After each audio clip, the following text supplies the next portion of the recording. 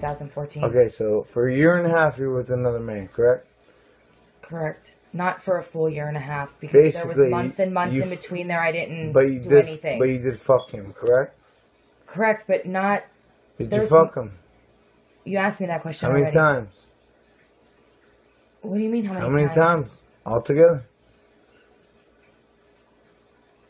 30, 40? Okay, and But it wasn't in okay, 2014. hold on. And then after my father died, how many times? Six, seven? You asked me that question already. Thank you.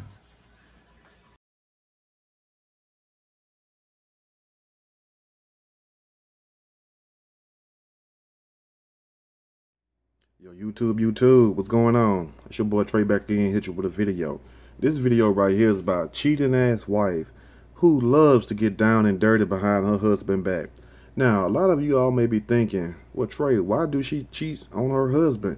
Well, she didn't give too many excuses other than the fact that uh, she was basically trying to question him about him questioning her about why is it that she is cheating the way she's doing it. She's not cheating. You know, one time is bad enough. You know, and I don't understand why guys, you know, if you catch your woman cheating and you know she's been cheating, you know what I'm saying, whether you smell the scent on her or whether you happen to pull them drawers down and you see, you know, the stuff down there's a little, you know, it ain't wet. How can I say it?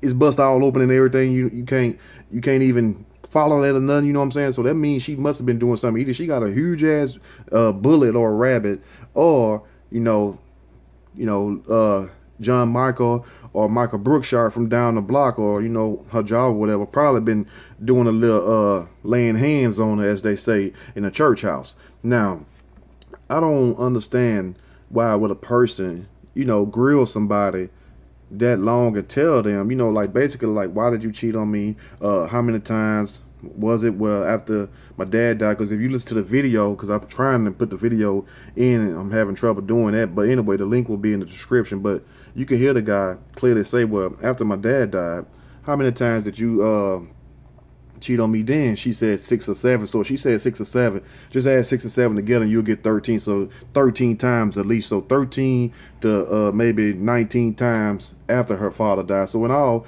we're looking at about 47 times in all. So if she said 47 most likely it's more like about uh 77 because you got to add some extra number because nobody's going to tell you the truth how many sexual partners they have and i don't know why people do that like if you've been with somebody or you you with them right now, and you can look at them right now. They probably getting uncomfortable walking out the room or saying, "Well, damn, I wish that guy shut up." You know, they want me to shut up when I'm talking about uh, relationships or stuff like that. But anything else, man, you go, boy, tell them, tell them, tell them. But anyway, now if your spouse done told you that she only had sex with uh three, four guys in her whole life.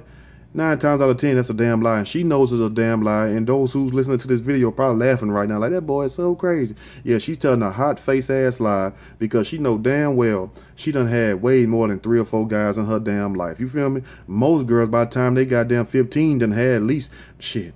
The way these people are these days, about five or ten at the least, and that's and that's even uh, giving them a break. You feel me? Now, if we really want to be technical about it, it's a lot more than that. So by the time you get that, by the time you get this woman, it's that thing all used up, ain't no good, loose as a goose. You see what I'm saying? So it won't do you a bit of good trying to follow that Oregon Trail anyway.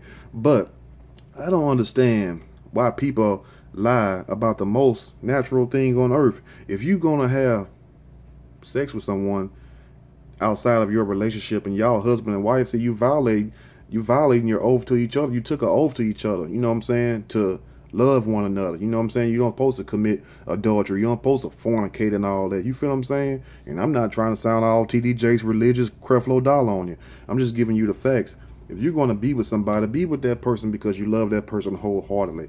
And like I said in the last video, why do people still have to cheat?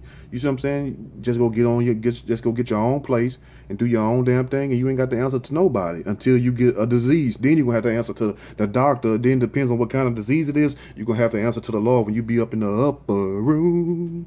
Yeah. But anyway, so if you want to take those kind of chances with your life and pretty much put yourself in these positions where you might end up on somebody's gurney on a table because you done got the uh, bullhead claps or you done got the the Urshifa uh, herpes, you know, go right ahead. So be careful out here when you mess with all these different people because I guarantee you it wasn't the same guy she was screwing. If she's screwing that many times over her husband, trust me, she didn't she she she she having sex with anything that ain't tied down. She hopping right on it. You feel what I'm saying? She do not care. We could call her spreader. Her name is spreader, and the guy that's talking to her, her his name is sucker because he got to be a damn sucker to sit up here and ask her continuously. And she done she telling she up here telling you flat, you know, right to your face that she's cheating with all these people. Why keep asking her how many times? How many times? You ain't doing nothing but hurting yourself worse. And why do people do that when they be in a relationship? See, that's let you know that's a little love right there. Because when you when you love someone, you feel what I'm saying? Your feelings get involved, and when your feelings get involved, you know what I'm saying. You don't want nobody to take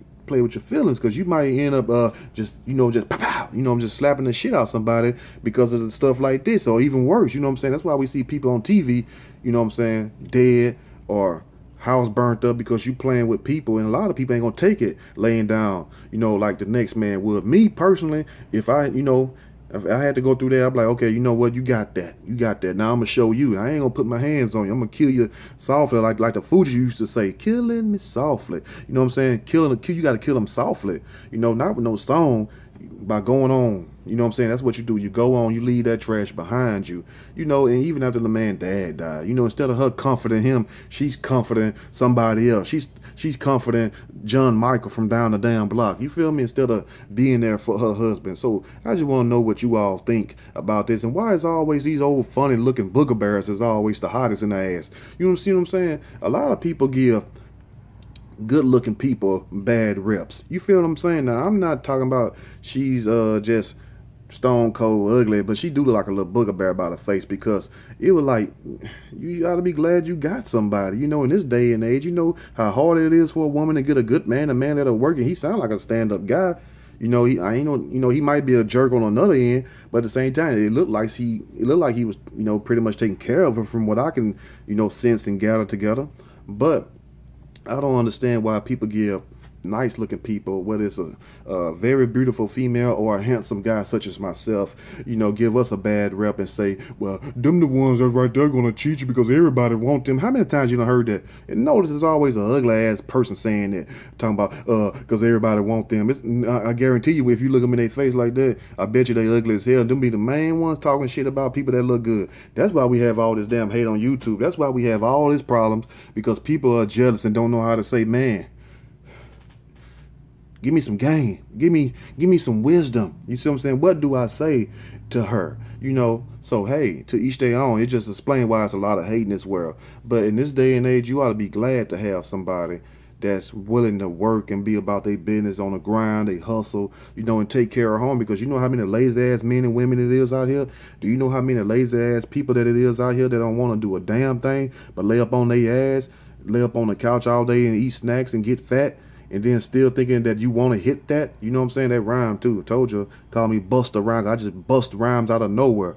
But anyway, let me know what you all think in the comment section, man. Because this right here only happens to suckers. You know what I'm saying? It happened to good guys too, but you got to be a sucker to sit up here and videotape your wife. That's just like me videotaping my my damn wife. You know what I'm saying? Uh, uh, how many times? How many times did Tyrone uh hit it from the back, baby? But she hit, he hit that thing. He hit that thing every night. You was going out with your friends. You know, you was out partying and stuff, and I was having a party too, right in this bedroom. So, so, so, uh, uh, uh guess what guys really want to ask? So, who, who was better, me or him? Boy, you know it was. You know that's when she gonna lie right then when she paused. She take that deep breath. She go, boy, you know it was.